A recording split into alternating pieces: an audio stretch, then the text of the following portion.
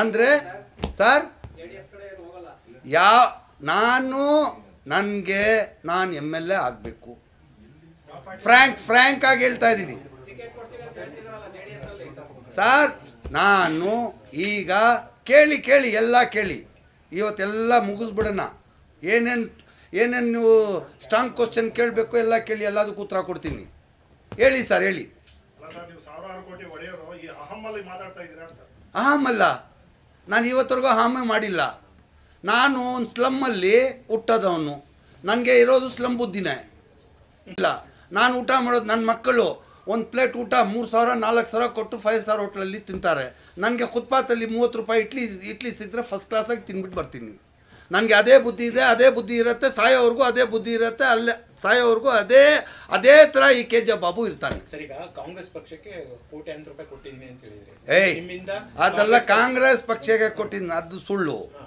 ಕಾಂಗ್ರೆಸ್ ಪಕ್ಷಕ್ಕೆಲ್ಲ ಕಾಂಗ್ರೆಸ್ ಪಕ್ಷ ಪರವಾಗಿ ಇವತ್ತರೆಗೂ ಜನಗಳಿಗೆ ಕೊಟ್ಟಿರೋದು ಒಂದು ಮೂವತ್ತು ಮೂವತ್ತೈದು ಮೂವತ್ತು ಕೋಟಿ ಮೇಲೆ ಖರ್ಚು ಮಾಡಿದ್ದೀನಿ. ಹೌದು. ಹೌದು. ಇದು ಕಳ್ದಿರೋದು ಯಾಕೆ? ಪಕ್ಷಕ್ಕೋಸ್ಕರನೇ ತಾನೇ ಕಳ್ದಿರೋದು?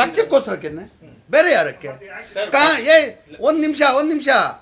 ಕಾಂಗ್ರೆಸ್ ಬ್ಯಾನರಲ್ಲಿ ಇಡೀ ಇಡೀ ಆ, ನಮ್ಮ ಇಂಡಿಯಾ ದೇಶದಲ್ಲಿ ಕೆ ಜಿ ಬಾಬು ಒಬ್ಬನ ಮುನ್ನೂರೈವತ್ತು ಕೋಟಿ ಒಂದು ಕ್ಷೇತ್ರಕ್ಕೆ ಖರ್ಚು ಮಾಡಿ ಮಾಡ್ತೀನಿ ವೈಟ್ ಅಮೌಂಟ್ ಅಂತ ಹೇಳೋನು ನಾನು ಒಬ್ಬನೇ ನನ್ನಿಂದ ಅವ್ರಿಗೆ ಶಕ್ತಿ ಬೆಳೆಯೋದು. ಶಕ್ತಿ ಕಟ್ಟಾಗೋದಲ್ಲ, ಯಾರಾದ್ರು ಒಬ್ಬನಿದ್ದಾರಾ ಕಾಂಗ್ರೆಸ್ ಪಕ್ಷ ಇದೇ ಜ, ಇದೇ ಜಾಗ.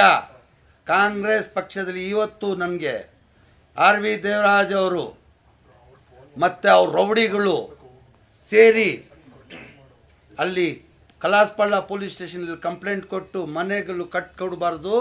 ಮನೆಗಳು ಕಟ್ಕೊಡ್ಬೇಕಂದ್ರೆ ನೂರ ಎಂಬತ್ತು ಕೋಟಿ ತಗೊಂಡು ಬಂದು ಸ್ಲಮ್ ಬೋರ್ಡಲ್ಲಿ ಡಿಪಾಸಿಟ್ ಮಾಡಿಬಿಟ್ಟು ಮನೆಗಳು ಕಟ್ಕೊಡ್ಬೇಕಂತ ಆರ್ ವಿ ದೇವರಾಜ್ ಅವರು ಮತ್ತು ಅವನ ಬ್ಲಾಕ್ ಪ್ರೆಸಿಡೆಂಟು ರಾಜಶೇಖರ್ ಅಂತೆ, ಅವ್ರು ಹೋಗಿ ಕಂಪ್ಲೇಂಟ್ ಕೊಟ್ಟಿದ್ದಾರೆ. ಅದು ಹಾಗೆ ಏನಾದರೂ ನಮ್ಮ ಕಾಂಗ್ರೆಸ್ ಪಕ್ಷದಲ್ಲಿ ನಮ್ಮ ಲೀಡರ್ಗಳು, ಅವ್ರಿಗೆ ಏನು ಹೇಳ್ತಾರಂತೆ ಕಾಂಗ್ರೆಸ್ ಲೀಡರ್ಗಳಿಗೆ, ಕಾರ್ಯಕರ್ತರಿಗೆ, ಆರ್ ವಿ ದೇವರಾಜ್ ಅವರು, ನಿಮಗೆಲ್ಲ ಪಕ್ಷದಲ್ಲಿ ಸಸ್ಪೆಂಡ್ ಮಾಡಿಬಿಡ್ತೀನಿ ನಿಮ್ಮದನ್ನೆಲ್ಲ ಪಕ್ಷದಿಂದ ಕಿತ್ತಾಕ್ಬಿಡ್ತೀನಿ ಕಿತ್ತು ಬಿಸಾಕ್ಬಿಡ್ತೀನಿ ಅಂತ ಹೇಳಿ ಯಾರೂ ಬಂದಿಲ್ಲ. ಇದೇ ಥರ ಏನಾದರೂ ಕಾಂಗ್ರೆಸ್ ಪಕ್ಷದಲ್ಲಿ ಲೀಡರ್ಗಳಾಗಲಿ ಕಾರ್ಯಕರ್ತರುಗಳೇ ಆಗಲಿ ಇವತ್ತರೆಗೂ ಬಂದಿದ್ರೆ ಒಂದು ಸಾವಿರ ಮನೆ ಕಟ್ಕೊಟ್ಬಿಡ್ತಾ ಇದೆ ಈಗ ಇವತ್ತರೆಗೂ.